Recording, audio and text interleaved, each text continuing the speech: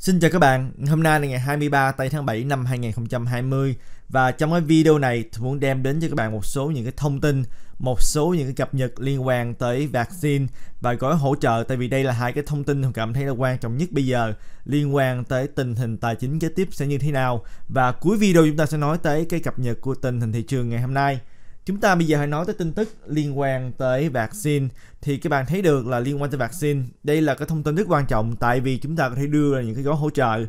cục dự trữ liên bang có thể cắt lãi suất. Nhưng mà nếu như mà các bạn muốn chúng ta thấy được cái sự hồi phục của nền kinh tế, các bạn muốn là mọi người cảm thấy an toàn và đi ra ngoài để mà mua sắm, để mà sử dụng dịch vụ, thì chúng ta cần phải có vaccine. Cho nên đây là thông tin rất là quan trọng. Và tin tức chúng ta nhận được ngày hôm qua là thông báo chính thức từ Hoa Kỳ sẽ trả cho hai công ty đó chính là công ty Pfizer và công ty công nghệ sinh học BioNTech tổng cộng là 1,95 tỷ để có thể sản xuất và cung cấp 100 triệu liều vaccine nếu như mà có thể chứng minh được là vaccine của họ an toàn và có hiệu quả.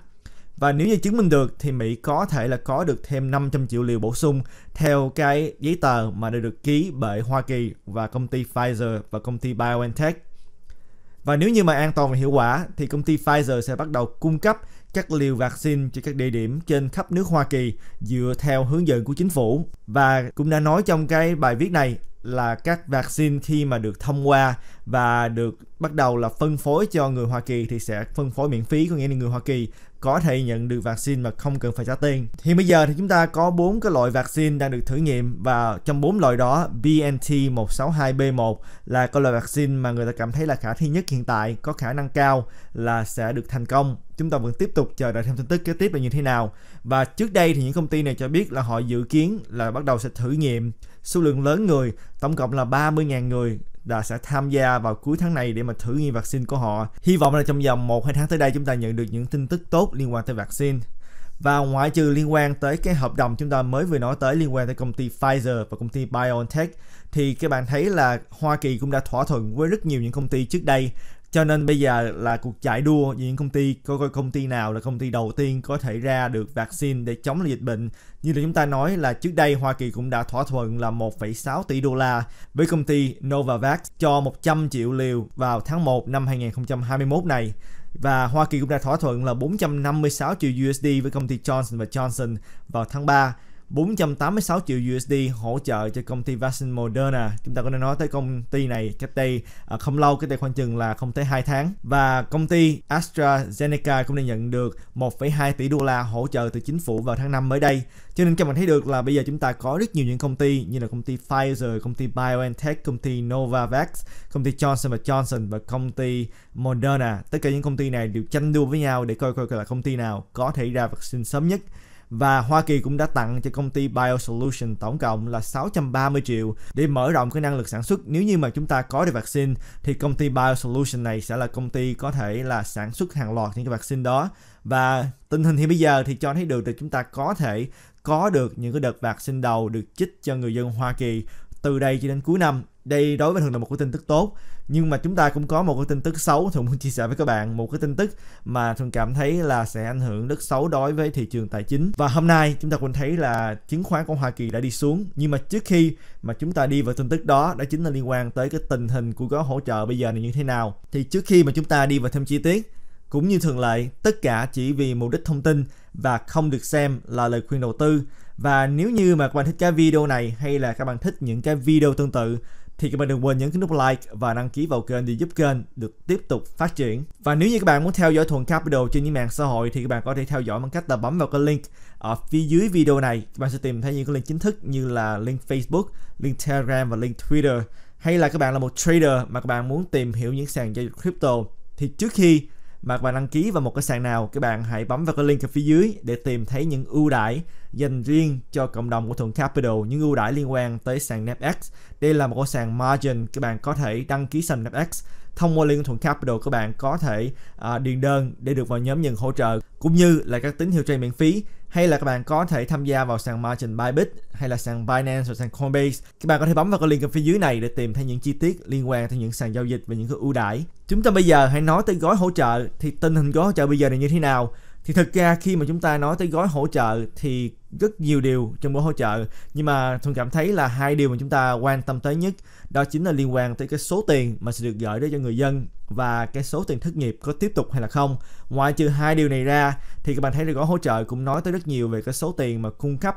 cho những cái tiểu bang, những cái thành phố, cũng như là cái số tiền cung cấp cho trường học. Nhưng mà quan trọng nhất, tôi nghĩ là nhiều người vẫn quan tâm đến đó chính là cái số tiền gửi tới cho người dân và tiền thất nghiệp. Thì thượng viện, Cộng hòa và Nhà Trắng đã đặt dự kiến 1.000 tỷ đô la cho gói hỗ trợ kế tiếp. Bạn cũng đã biết là đây là cái thỏa thuận giữa Thượng viện Cộng hòa và Nhà Trắng. Thì bây giờ chúng ta có ba bên đều có những cái ý nghĩa khác nhau về cái gói hỗ trợ là bao nhiêu tiền và trong đó bao gồm những gì. Ba bên này chúng ta có bên đầu tiên là đảng Dân Chủ. Đảng Dân Chủ đã thông qua một cái đề xuất cách đây không lâu, cách đây khoảng chừng là 2 tháng. Đây là cái đề xuất 3,4 nghìn tỷ đô la được thông qua Hạ viện. Đó là cái đề xuất của đảng Dân Chủ. Bây giờ chúng ta thấy được là đảng Cộng Hòa cũng có cái ý nghĩ riêng là họ muốn có những gì trong gói hỗ trợ này và đáng giá bao nhiêu. Và bây giờ Nhà Trắng cũng có cái ý nghĩ riêng tại vì các bạn biết là mỗi một bên thì đều có những người ủng hộ và họ cần phải làm cho những người ủng hộ của họ hài lòng cho nên cái ba bên bây giờ đang giằng co với nhau và cái số tiền mà được nói tới ngày hôm qua là 1.000 tỷ đô la được đưa ra bởi Thượng viện Cộng hòa và Nhà Trắng là cách xa cái số tiền đòi hỏi của đảng Dân Chủ rất là nhiều. Các bạn thấy là 1.000 tỷ so với 3,4 nghìn tỷ ban đầu mà được đề xuất bởi đảng Dân Chủ. Cho nên ngay bắt đầu các bạn đã thấy được là cái sự khác biệt về cách nhìn về cái gói hỗ trợ này sẽ đáng giá bao nhiêu tiền là hoàn toàn khác nhau. Lãnh đạo đa số Thượng viện Mitch McConnell đã nói là ông ta muốn giữ cái mức giá ở mức 1.000 tỷ đô la nhưng mà các bạn cần nên biết là đảng Cộng hòa là không phải là ai cũng đồng lòng với cái số tiền này. Có một số nghị sĩ nghĩ là cái số tiền này đã quá cao, sẽ làm cho cái nợ quốc gia tăng lên. Và những người mà phải trả nợ đó chính là người dân của Hoa Kỳ sau này. Cho nên không phải là đảng Cộng Hòa là ai cũng đồng lòng. Bây giờ vẫn có nhiều nghị sĩ không chấp nhận cái hỗ trợ kế tiếp, mặc dù là chỉ có một nghìn tỷ. Cho nên các bạn thấy được là đây là một cái điều đang rất là căng. Bộ trưởng Bộ Tài chính Stephen Mnuchin, đó chính là người mà sẽ đại diện như Tổng thống Donald Trump, đại diện cho Nhà Trắng, thì nói với các phóng viên hôm thứ Tư, nghĩa là ngày hôm qua, là Nhà Trắng đồng ý cung cấp cho người Mỹ thêm một cái chắc kế tiếp, có nghĩa là gửi tiền trực tiếp đến cho người dân. Và đảng Cộng Hòa thì đề nghị là gia hạn tiền thất nghiệp. Các bạn cũng đã biết là tiền thất nghiệp là 600 đô mỗi tuần sẽ hết hạn vào cuối tháng này. Thật ra tuần này là tuần cuối cùng mà người ta sẽ nhận được tiền thất nghiệp từ liên bang. Đây là cái số tiền mà có trong cái gói hỗ trợ đầu tiên được thông qua uh, bởi Quốc hội và ký bởi Tổng thống Donald Trump. Nhưng mà cái số tiền này sẽ hết hạn trong tuần này. Và điều mà chúng ta cần nên biết ở đây là người dân khi mà người ta thất nghiệp ở Hoa Kỳ thì các bạn có thể lấy tiền thất nghiệp từ tiểu bang nhưng mà số tiền đó rất là thấp và cộng với lại tiền tiểu bang tại vì đây là thất nghiệp liên quan đến dịch bệnh cho nên liên bang sẽ cung cấp thêm 600 đô mỗi tuần có nghĩa là 2.400 đô mỗi tháng cộng với lại cái số tiền mà người đó có thể nhận được từ tiểu bang cho nên cái số tiền này là một số tiền rất là đáng kể đối với rất nhiều người, nhưng mà số tiền này sẽ hết hạn vào cuối tuần này. Và bây giờ đảng Cộng Hòa đề nghị là gia hạn tiền thất nghiệp cho đến cuối năm, nhưng mà thay là 600 đô một tuần. Bây giờ chỉ giảm xuống còn có 100 đô một tuần. Các bạn thấy được là giảm một cách rất là nhiều. Bộ trưởng Bộ Tài chính Stephen Mnuchin thì nói là kế hoạch Nhà Trắng là thay thế khoảng chừng là 70% tiền lương của một công nhân. Điều đó là tương đương với thêm khoảng chừng là 188 đô cho đến 310 đô một tuần tùy thuộc vào các yếu tố nhất định,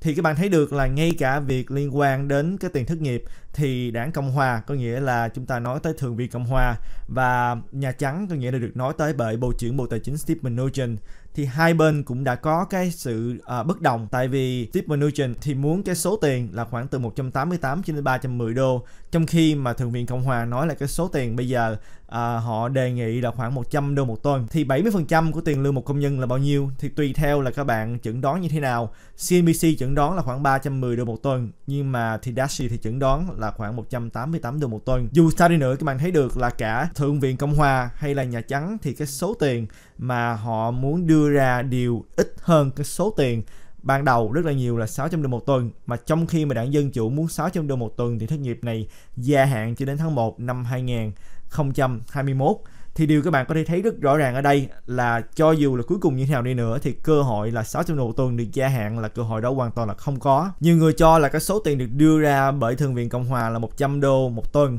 là cái nơi khởi đầu để cho hai bên có thể đàm phán với nhau. Nhưng mà tôi nghĩ là đàm phán đi tới mấy đi nữa thì tôi nghĩ là cuối cùng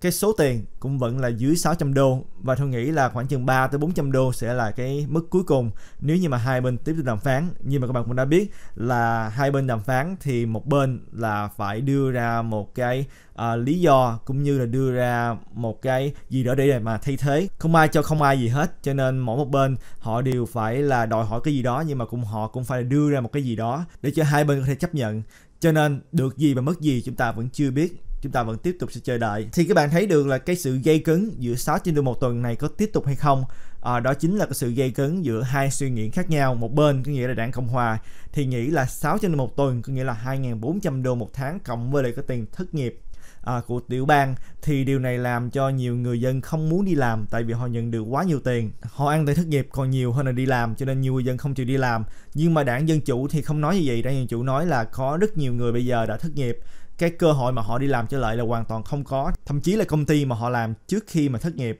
thì công ty đó cũng đã bị phá sản. Cho nên căn bản là không có việc làm cho họ làm. Và khảo sát của công ty Hitachi cho thấy được là 70% của người được khảo sát chấp nhận đi làm lại trong tháng 6 mới đây, mặc dù là cái tiền lương thấp hơn là tiền thất nghiệp. Đây là điều mình thường muốn chia sẻ với các bạn liên quan tới gói hỗ trợ. Nói tới cái check gửi tới cho người dân, thì chúng ta hiện bây giờ vẫn không biết được là bao nhiêu và ai sẽ nhận được. Nhưng mà cơ hội là dựa theo một số thông tin được đưa ra từ Mitch McConnell có nghĩa là lãnh đạo à, của đảng Cộng hòa ở bên thượng viện. Thì Mitch McConnell nói là cái cơ hội là chỉ cho người có thu nhập thấp và con số mà đã được à, nói tới là khoảng chừng 40.000 đô đổ xuống có nghĩa là thấp hơn là trước đây rất là nhiều. Các bạn thấy là cái số lượng tiền mà nhận được cho người dân Hoa Kỳ đầu tiên trước đây là 1.200 đô cho mỗi một người dân. Và nếu các bạn mà có con nhỏ mà dưới 18 tuổi thì nhận thêm được 500 đô và để nhận được 1.200 đô đó thì các bạn chỉ cần là làm dưới cái thu nhập là 75.000 đô. So với lại các bạn thấy được là nếu như mà cái thu nhập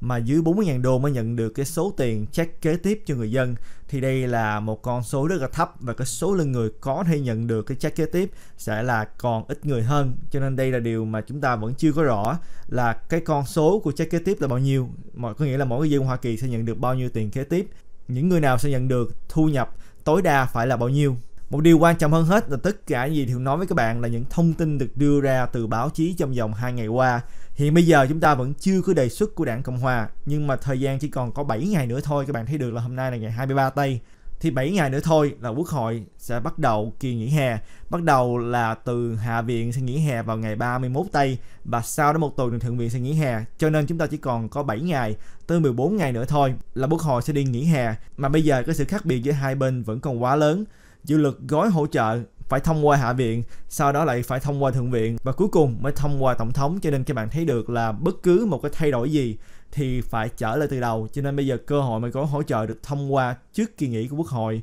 là rất là mỏng manh. Và nếu như mà không thông qua à, trước kỳ nghỉ hè của quốc hội thì chúng ta phải chờ tới tháng 9 chúng ta mới có được tin tức liên quan tới gói hỗ trợ. Đây là điều mà thường muốn các bạn nắm được. Chúng ta hãy nói về một số cập nhật thông tin thị trường ngày hôm nay thì các bạn thấy được là tuy là tin tức liên quan tới à, vaccine là một tin tức rất là tốt, nhưng mà chúng ta lại nhận được một số những cái thông tin không tốt, những cái sự trì hoãn là một điều mà khó tránh khỏi bây giờ liên quan tới gói hỗ trợ. Nếu như mà chúng ta có được một gói hỗ trợ được thông qua hạ viện, thượng viện và ký bởi tổng thống là một điều mình cảm thấy là cơ hội thấp. Nhưng mà nếu như được thì đây là một điều rất là tốt đối với thị trường tài chính. Nhưng mà bây giờ với tình hiện tại, tôi nghĩ là cơ hội rất thấp. Và chúng ta đang nhận được nhiều thông tin là thất nghiệp lại không đi xuống mà bây giờ lại đi trở lên. Tại vì chúng ta thấy là dịch bệnh nổi lên lần thứ hai ở nhiều tiểu bang, khiến cho nhiều tiểu bang bây giờ để đóng cửa trở lại hay là hạn chế mở cửa trở lại, khiến cho thất nghiệp lại tăng lên thì chứng khoán ngày hôm nay kết thúc là các chỉ số như là chỉ số Dow Jones, chỉ số S&P 500 và Nasdaq đều đi xuống.